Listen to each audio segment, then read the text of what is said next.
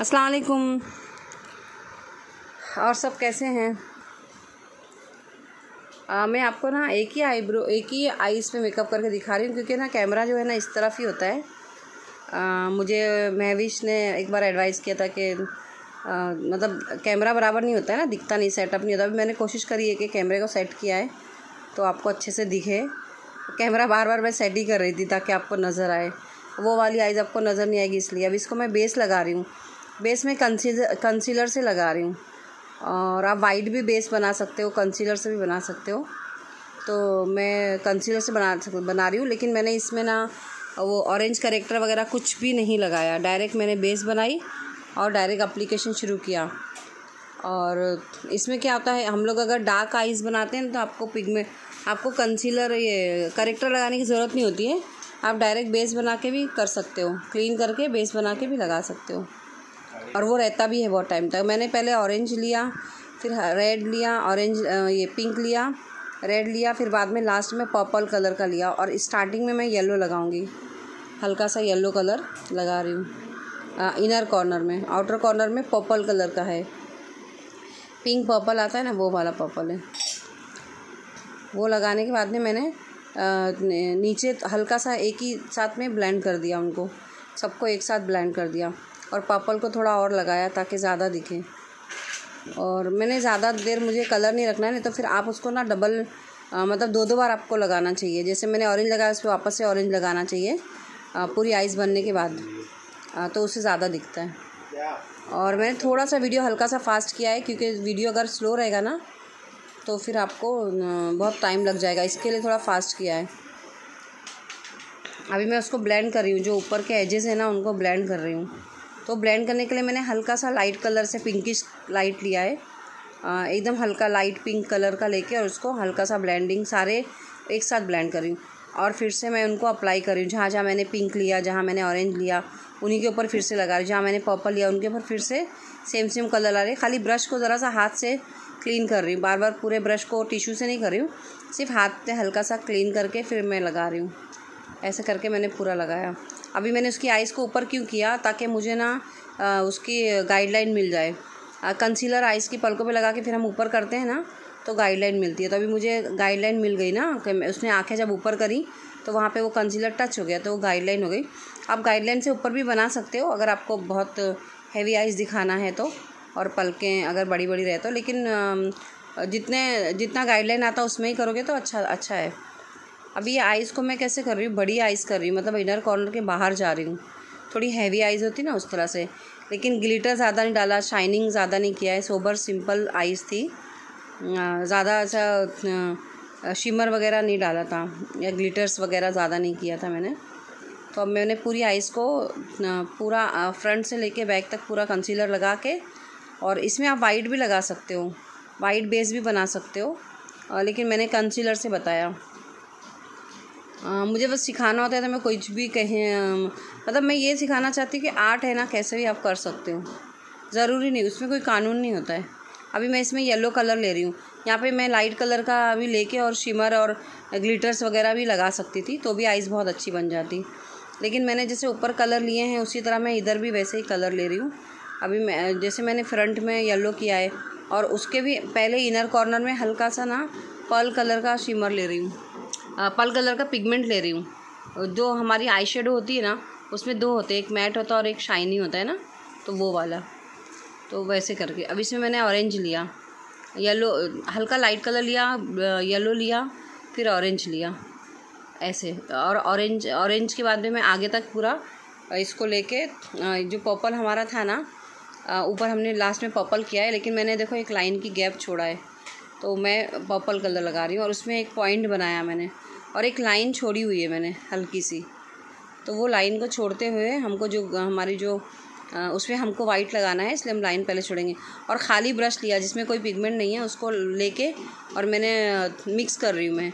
जो लाइन है ना पर्पल और ऑरेंज के बीच में, उसको मिक्स किया और ऑरेंज और येलो के बीच में जो लाइन आती है उसको उसको उसको मिक्स किया। मिक्स मतलब मर्ज करना होता है लाइन ना दिखे। ब्लेंड करना होता है एक्चुअली।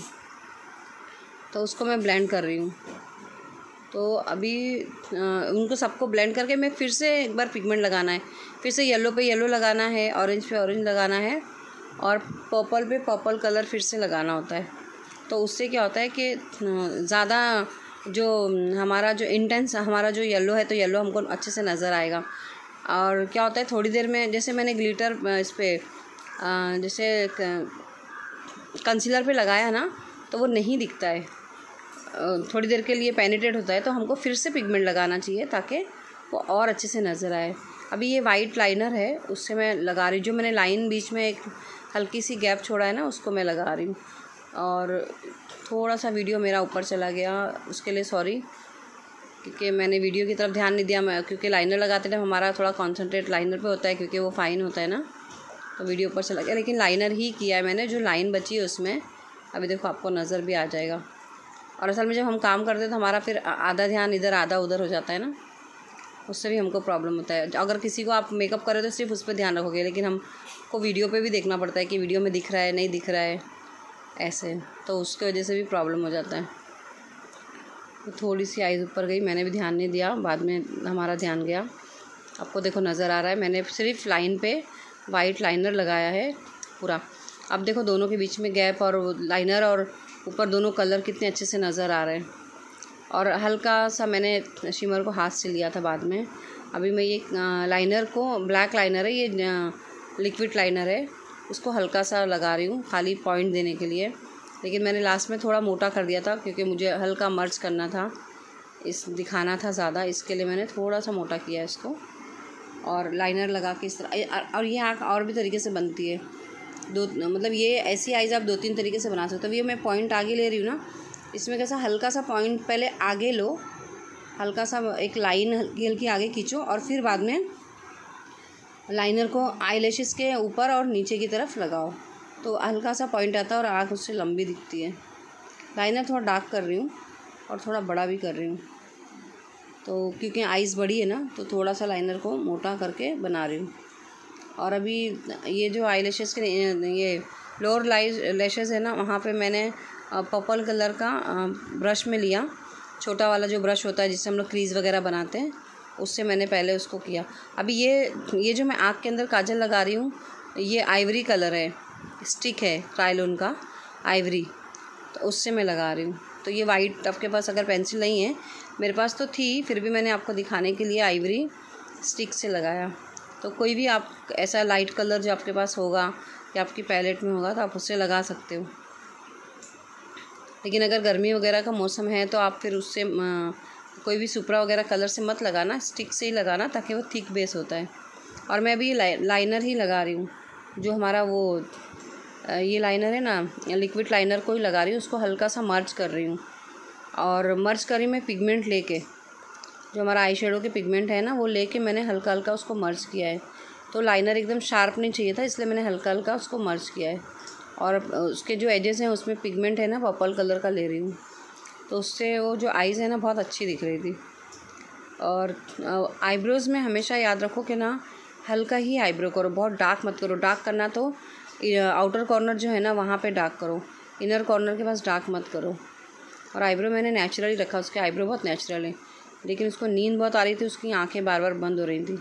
उसमें मुझे प्रॉब्लम आ रहा था। उसको बार बार उठाना पड़ा था मॉडल को, हमारी तो वो सो जा रही थी बार बार अब ये मस्कारा लगा रही हूँ ताकि मैं लैशेज़ अच्छे से, और लैशेज़ से पहले मैं मस्कारा लगा रही हूँ उसमें। अभी जो मैंने लाइनर पूरा लगा दिया है, और लैशेज़ भी मैंने लगा दिए। लैशेज़ लगाने के बाद में, देखो मैंने उसको बड़ी सी लैशेज़ लगाई है। जैसे हम ब्राइडल वगैरह पे मेकअप करते हैं ना तो जब हम लोग ये आइज़ बनाते हैं तो उस पर लैशेज़ भी बड़ी बड़ी लगाते हैं। हम लोग जब सादा मेकअप करते हैं या सिंपल मेकअप करते हैं, मेरा ऐसा तरीका है कि जैसे कोई मेचोर स्किन है या फिर कोई ज़्यादा न्यूड मेकअप करना है तो मैं हल्की लैशेज़ लगाती हूँ, वरना मैं थोड़ी हैवी लगाती हूँ। अभी मैं पिगमेंट ऐसी टच कर, हल्का सा उंगली से फिंगर से मैंने टच किया है ग्लिटर वो क्राइलोन का था वो मेरा, उसको मैंने सिर्फ़ टच किया, अभी मैंने उसको इतनी नींद आ रही है और मैंने उसको हल्की सी बिंदी भी बना दी। बिंदी मैंने ऐसे ही बना दी टाइम पास आपको दिया, ऐसे ही अच्छा दिखने के लिए। अब देखो उसकी आइज़ का पूरा मेकअप देखो। और कितनी जल्दी जल्दी जल्दी जल्दी मेकअप हो जाता है। एकदम आसान ट्रिक से आप मेकअप कर सकते हो। बहुत ज़्यादा हैवी बहुत ज़्यादा कलर डालना है। कलर डालना थोड़ा सा डार्क कर सकते हो आप। मैं कभी ज़्यादा भी हैवी भी कलर डाल के मेकअप दिखा दूँगी। देखो थैंक यू सो मच अगर आपको